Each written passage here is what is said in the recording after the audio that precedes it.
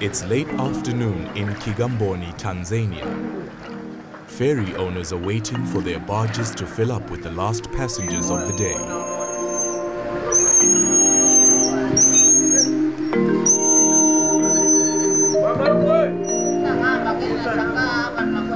They then make the less than one kilometer trip over the sea strait that separates Kigamboni from the rest of Dar es Salaam. It's a regular and uncomfortable expense. But for the past few decades, it's been either this or a 35 kilometer land trip to get from Kigamboni to Dar es Salaam city.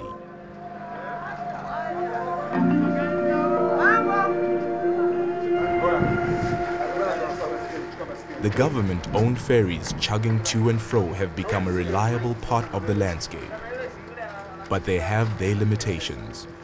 Sometimes people have to wait long for a ferry to fill up. And they don't operate after midnight.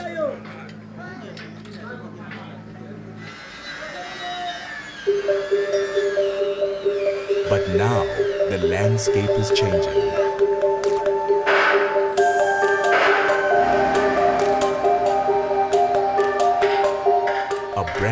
680-meter cable stayed bridge is under construction.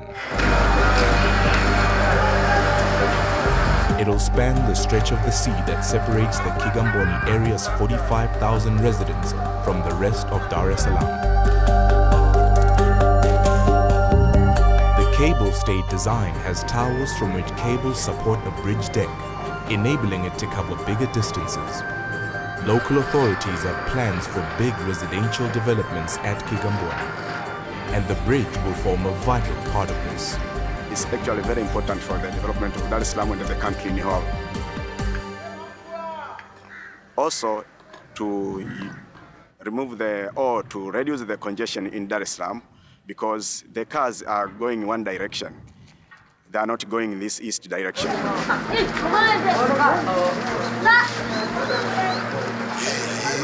Local fishermen have been watching the progress with great interest. Rumors that a bridge would one day span the Kigamboni Strait have been going around for decades.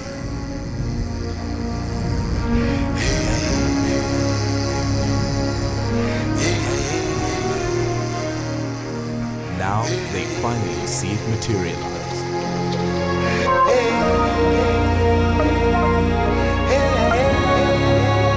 This bridge was in plan by our country to be constructed since 1961 when we got our independence. But unfortunately, the technology and capa- capacity to build it was not there. It was only in 2012 that a Chinese construction company started the building process.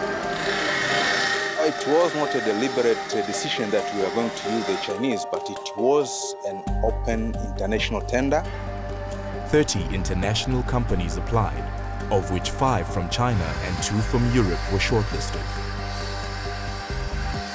A prerequisite was that companies should have constructed a similar cable-stayed bridge within the past 15 years.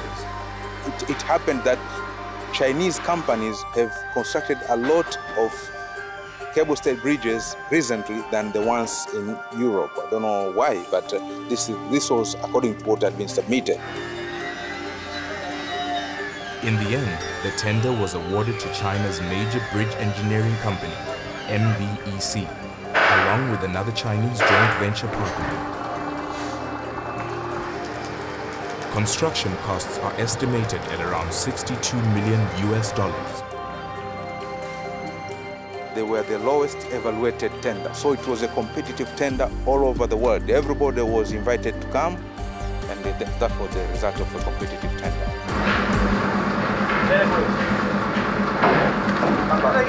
But Tanzanians are planning to get more than a bridge out of the construction deal.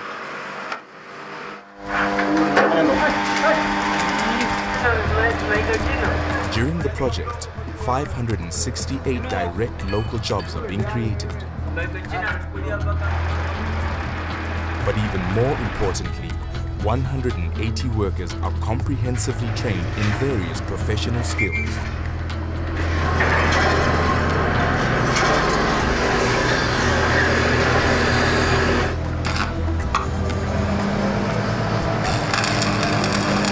because this kind of technology just comes once. We think it cannot come again another time. So it's very important for locals to get this technology, to be trained in this, so that later we can even have our only local people to, to work with a few foreigners. Uh, you know, Kigamboni Bridge is a cable stayed bridge. Uh, its structure is very complicated. Uh, so every process we must train the local people. Uh, otherwise, they can't do this job. Equip locals with skill. That means uh, it can help us improve the e- efficiency. Uh, it can help us finish the project on time.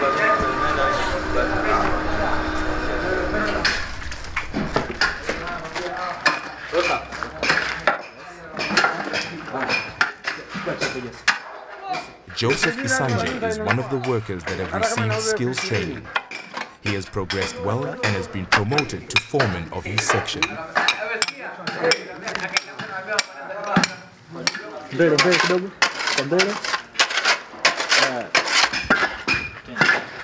Nimekuwepo katika mradi huu kwa miaka miwili sasa na nimeona mabadiliko kwa ujumla.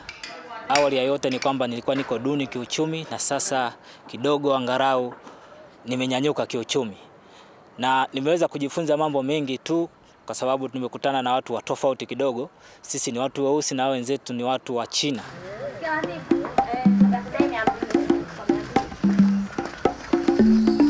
Joseph knows very well that the nature of construction work is always temporary.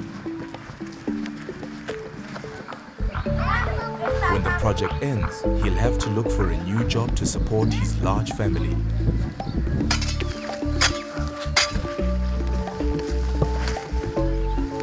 The Isanja family tries to be as self-sufficient as possible, growing their own maize and vegetables and doing odd jobs where they can.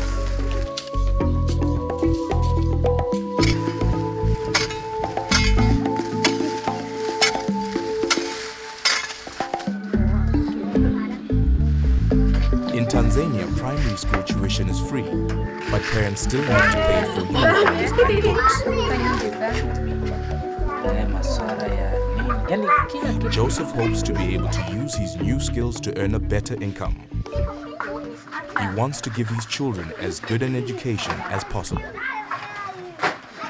Ni kweli matumaini yangu makubwa ni kwamba hata bala- mara baada ya kuisha kwa mradi huu naweza nikawa nimejifunza vitu vingi hasa, kwa sababu kwanza kikubwa nachojivunia ni kwamba nimejifunza ni jinsi gani niweze kuishi na watu wa tofauti.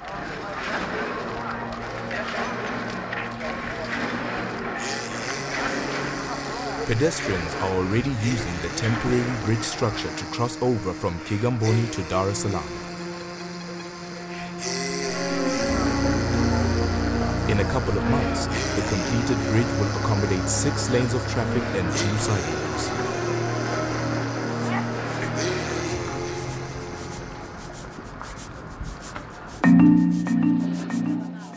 Meanwhile, the ferries keep up their daily watery commute.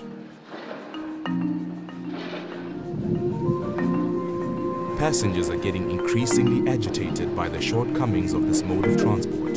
Sometimes a big ship is closing, so you have to wait maybe for half an hour, for one hour. This boat, they put you on a motorcycle sometimes with passenger, with bags of what. But when the bridge will be complete, I think people maybe they can carry their bag on and move and uh, cross the bridge.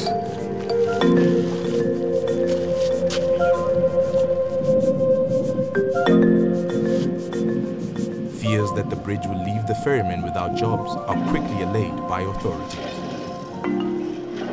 You know, the good thing is that uh, the one who is running the ferry is the government itself. And the, the bridge, at the end of the day, is going to be the government property. We can take that ferry to other place and other people the, the people were using the ferry and many more were coming, they'll be using the, they'll be using the bridge. Gaps are being bridged in Tanzania between communities, between cultures, and hopefully, ultimately, also between need and development, and between untrained and skilled.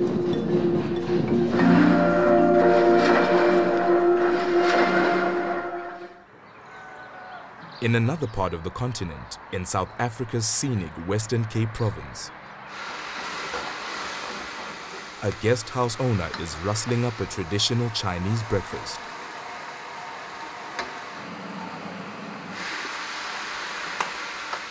Chicken stir fry with lots of garlic and soya sauce. Plated steamed bread and congee, the popular Asian rice porridge. His guests, a group of young Chinese students who have just passed a stringent selection process in China. They have come halfway around the world to realize a common dream. To fly. You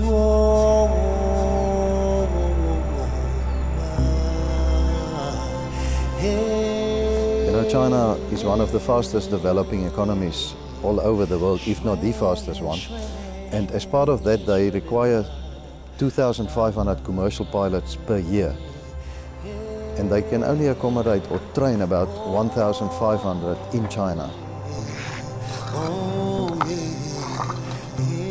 So traditionally, over many years, the past 10, 12 years, they have outsourced it to countries like America and Australia. And we then started with a proposal to, to train a small part in, in South Africa. And uh, that's how it all started. Roy, so what is this over here? Uh, this is aileron. It's aileron, okay. So aileron, we're checking, make sure the surface is all... Flying cadet Roy Chang is busy doing his pre-flight checks under the watchful eye of instructor Matthew Rawlings. Up there gently, make sure this one goes up, that one goes down, yes. down and up. Inside now, checking here, we're looking now for four bars. Like his fellow cadets, Roy has been sent to South Africa by one of 12 commercial airlines in China to get his basic training as a commercial pilot. Over many years, the past 20, 30 years, South Africa established itself as one of the leading training, flight training providers worldwide.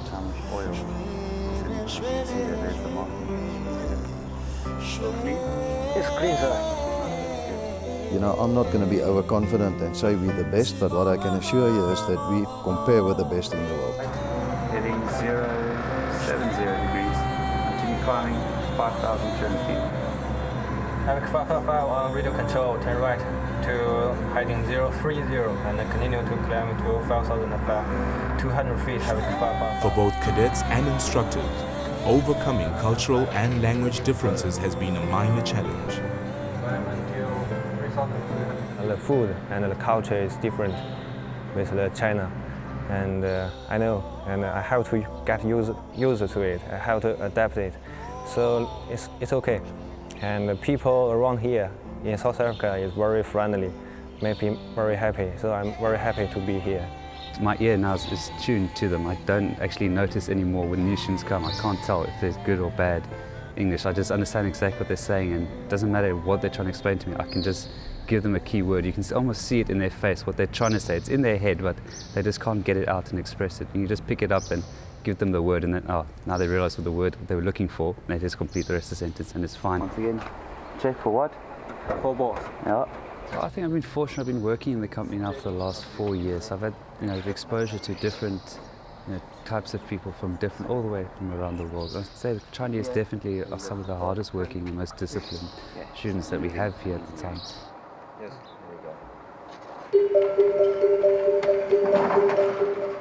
A few years ago, the flight school faced a dilemma. The Chinese government decided that in future, all flight training had to be done by Chinese companies.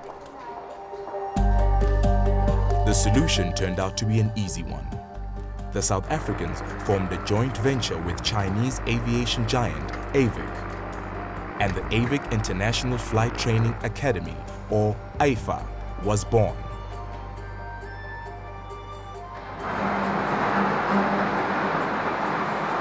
They now have training facilities in Oudtshoorn, George and Beaufort West.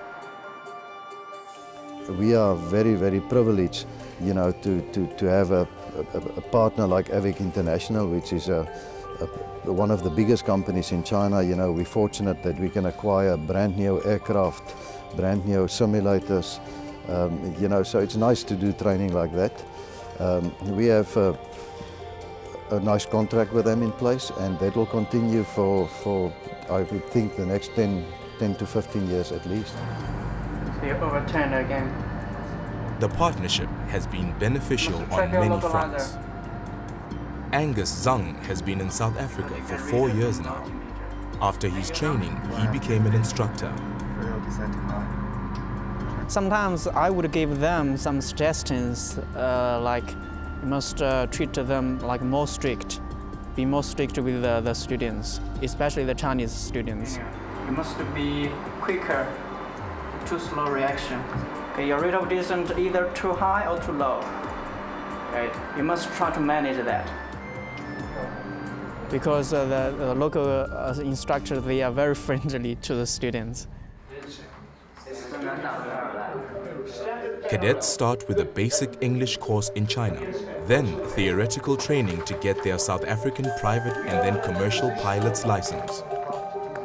They also rack up 250 hours of practical flying.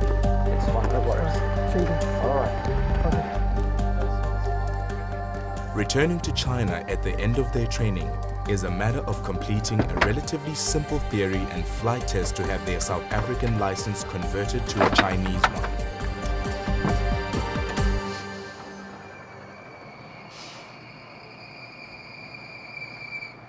If I go back to China, most important thing is to go back to my airline company to get the training of the Boeing 737 to be a commercial pilot, one day to be a captain.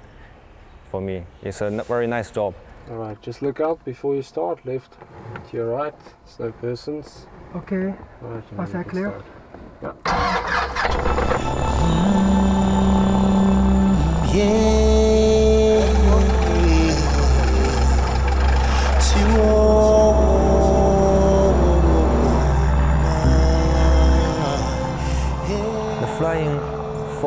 is the best uh, career, I think, the best job for me. Uh, to be a pilot will be free, like a free bird, and uh, it's very nice to fly an aircraft, and uh, it's a responsible, a responsible work.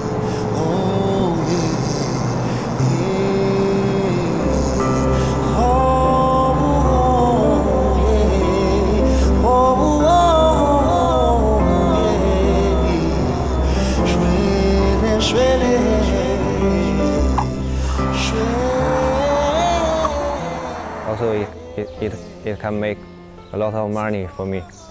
I want, I can't wait. I want to be a pilot. 操，你吓我了，这都几点了？请你别在床上。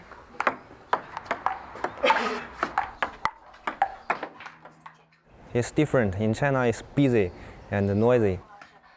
And here, it's, it's quiet, and uh, the env- environment is very good. I enjoy it. The both of China and uh, South Africa is good. I like them both. Just run your hand gently along. Feel any bumps Uh, The, the Chinese economy is, is a world-class economy. It's probably their turn to, to, to, to control world economy, which they, I think, to a large extent are doing. I have absolutely no doubt in my mind that, uh, you know, if you don't look into that market from a business point of view, you will be very short-sighted.